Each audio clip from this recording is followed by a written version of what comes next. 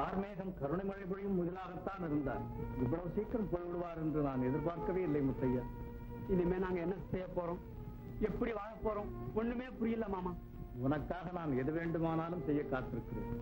நீ வீணாக கவலைப்படாதே முத்தையா. நான் அதுக்காக இங்க வரல மாமா.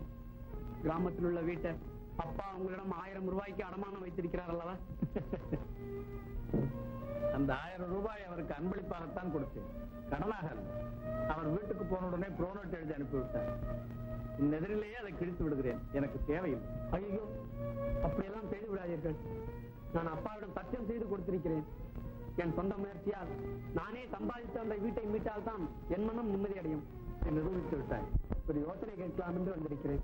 சொல்லப்பா எங்க அத்தையின் நகைகளை விட்டு அப்பாவுக்கு செய்ய வேண்டிய சடங்குகளை எல்லாம் செய்து முடிச்சேன் இருபத்தஞ்சு ரூபாய் மீதி இருக்குது. அதை கொண்டு ஏதாவது வியாபாரம் செய்தால் குடும்பத்தை ஒரு மாதிரி சமாளிக்கலாம் இல்லையா? இருபத்தைந்து ரூபாயில் என்ன வியாபாரம் செய்வது? ஒரு வெத்தலை பாக்கு கடை வைக்க கூட காணாதே. ஏதாவது சாமான்கள் வாங்கி தெருவில் விற்கலாம். சரி உன் லட்சியத்தை கெடுக்க நான் விரும்பவில்லை. என் கட்சிக்காரர் ஒருவருக்கு கடிதம் கொடுக்கிறேன். நீ அவரை நன்றாக பயன்படுத்திக் கொள்ளலாம். என்ன சரிதானா? இனிமேல் நீங்கள் தான் எனக்கு துணை.